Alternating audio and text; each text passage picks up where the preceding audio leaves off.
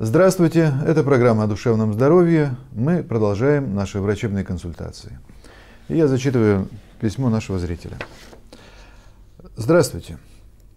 Я верующий, воцерковленный человек, пишет женщина.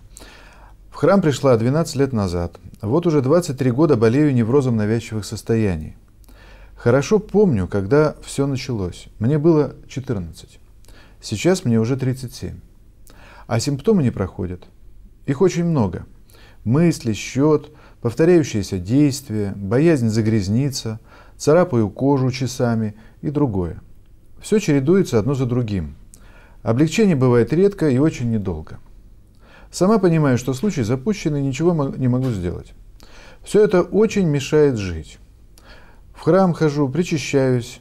Не пойму, что я должна сделать, чтобы Господь избавил от этой напасти – или тут еще необходимо медикаментозное вмешательство? Куда обратиться? Подскажите, пожалуйста.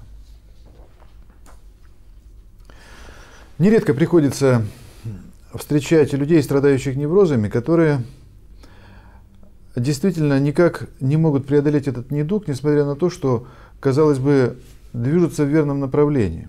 Ведь мы уже говорили с вами, что неврозы – это неудачное название – того, что лучше назвать утратой самообладания.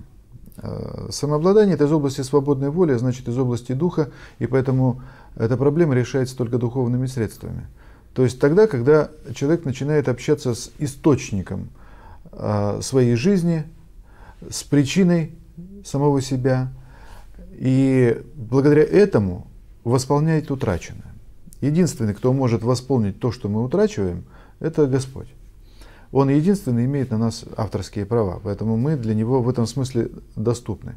Сами, без Бога, мы можем только тратить тот душевно-телесный потенциал, с которым мы родились.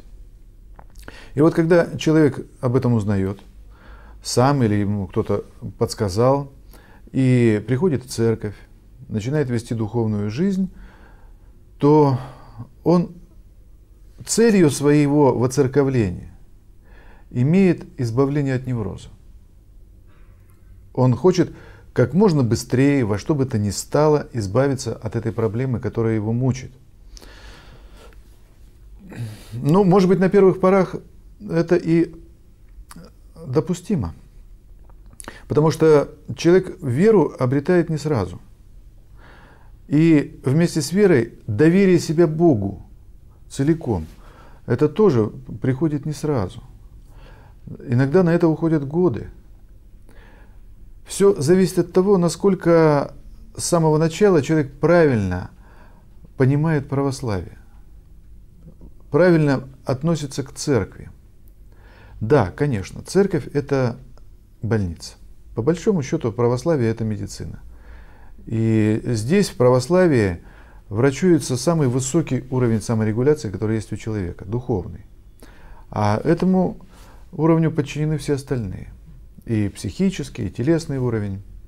И от состояния человеческого духа зависит все здоровье человека. Но надо иметь всегда в виду, что мы обращаемся в церкви к живой личности. Не к какому-то мертвому принципу, не к какой-то технологии, пусть даже высокодуховной, а именно к живой личности, которая нас задумала, создала, и которая знает нас лучше, чем кто бы то ни было, лучше, чем мы сами знаем себя. И, и этой личности Богу единственный ведомо, как, когда, при каких обстоятельствах избавить человека от того, что как страдание смиряет постепенно человека и приводит его в церковь, к Богу. Ведь неврозы – это то, что с нами происходит, когда мы живем без Бога. И именно неврозы становятся причиной нашей встречи с Богом, когда Он нам открывается как бы лицом к лицу, когда мы обнаруживаем свои немощи, когда мы понимаем, что мы без Бога жить не можем. Мы не можем быть хозяевами самим себе, своим мыслям, чувствам – желаниям, поступкам. И вот тогда человек понимает, что невроз – это не абсолютное зло. Вот эта болезнь, которая заставляет человека страдать, это не что-то такое, от чего нужно изо всех сил стараться избавиться. Ведь если это меня смиряет, если это меня привело к Богу, то есть со мной произошло самое лучшее, что может произойти с человеком в этой жизни, то тогда нужно и относиться к этому, к этой проблеме по-другому. Надо научиться за невроз благодарить, как за то обстоятельство, которое раскрыло нам совершенно новые горизонты жизни нашей, совершенно иную, гораздо более прекрасную жизненную перспективу. А что бы было с нами, если бы не этот невроз, если бы не какое-то другое расстройство, страдание, лишение, утраты, которые приводят людей в церковь? Где бы мы сейчас были? В каком бы таком самодовольстве сытом мы бы пребывали? Так вот, поэтому, если в начале развития этой болезни, вернее, в начале воцерковления, еще и допустимо какое-то время подержаться этого принципа. Господи, избавь меня от этого недуга. Но со временем, духовно возрастая, человек должен поменять цель. Целью должно стать не избавление от невроза. Целью должен стать Христос.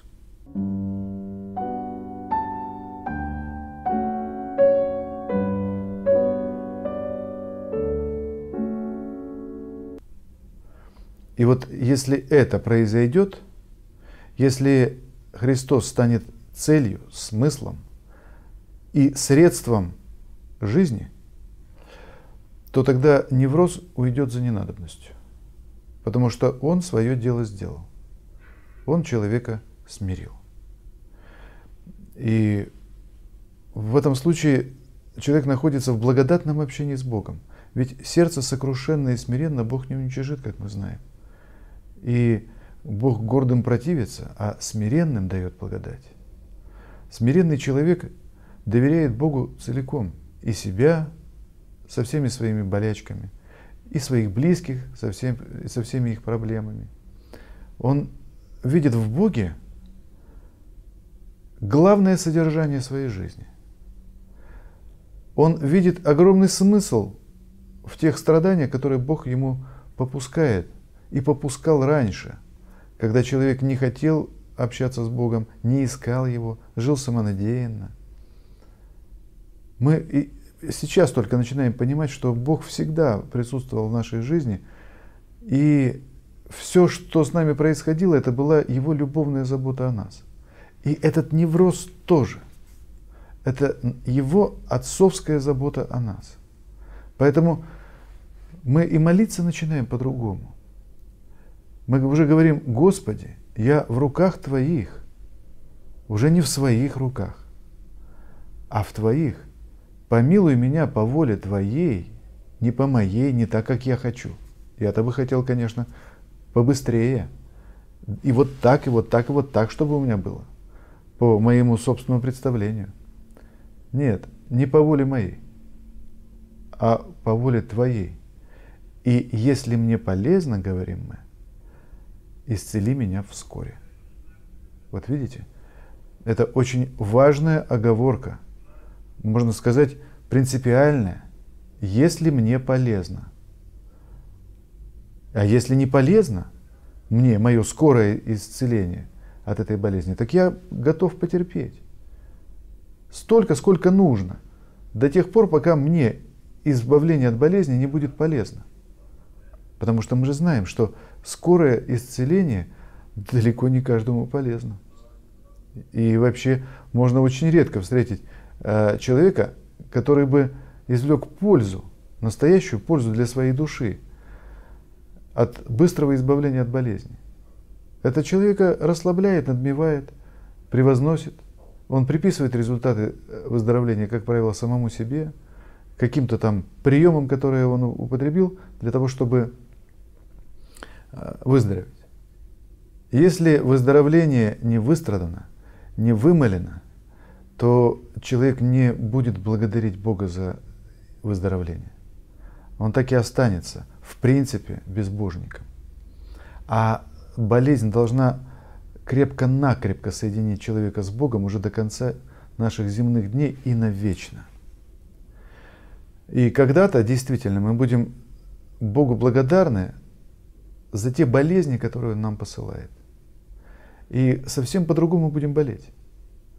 Мы в своих болезнях будем видеть любящую руку нашего Отца. Такой, э, знаете, легкий, воспитующий отцовский подзатыльничек в каждой нашей болезни.